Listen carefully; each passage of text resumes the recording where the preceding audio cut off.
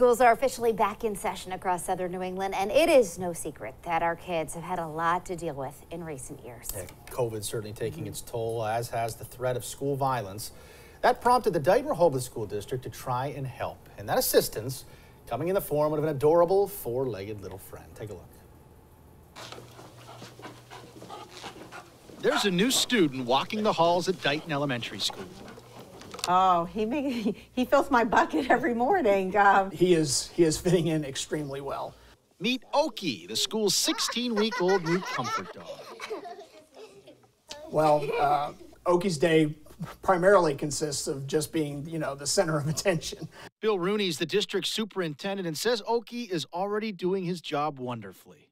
You know, we, we want everybody to feel like they belong. And I think that the more comfortable you can make the school environment, uh, the more kids are, are comfortable and uh, the, the higher level of learning takes place. Okie's handler is school resource officer Stephen Hathaway from the Dighton Police Department, who says he also notices Okie making it more comfortable for students to come up to him. Before, it was, uh, it was tough for kids to come up and say hi, um, but now with the dog, uh, it doesn't matter where I am, uh, who's coming through the hallway, they want to come in and say hi. And it's not just the students that Okie is having a positive impact on.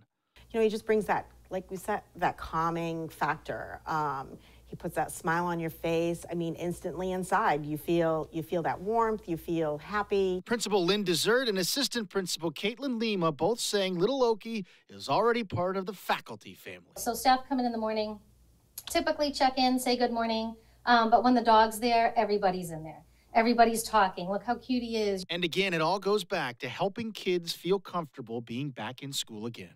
Our mission right now in our school is we belong. And so um, that is exactly what we want the school to feel like you belong. You know, one of the things that we have noticed on the heels of the pandemic is there's a, a lot higher level of anxiety um, on um, behalf of our students. And uh, to be able to have this resource um, to have Okie here uh, for you know a timely hug or just you know someone to just kind of break that tension is uh, is an invaluable asset for us. I'd say he's fitting in just fine. I think so. Most popular guy on he the campus. uh, the name Okie, the community submitted name suggestions. Top 3 mm -hmm. were then put in a poll for the community to vote on.